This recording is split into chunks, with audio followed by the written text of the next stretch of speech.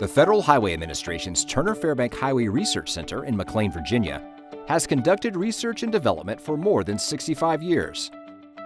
The investment in research and technology allows the federal government to shape the nation's highway transportation system through the development of innovations that improve the safety, efficiency, and longevity of roads and bridges.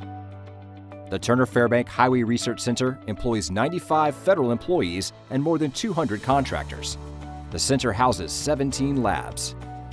This is where we conduct transportation research in safety, pavements, intelligent transportation systems, and more. Our labs provide a vital resource for advancing the body of knowledge created by our researchers. The end result is a safer, longer lasting, more reliable highway transportation system. The work that we do at Turner Fairbank focuses on improving safety, enhancing the transportation infrastructure, reducing congestion, providing and improving transportation data and analysis, and improving infrastructure designs to enhance connectivity throughout communities. Our research is advancing truck platooning technology. Trucks can follow each other at only a second apart and in a coordinated fashion to improve safety and congestion and reduce costs.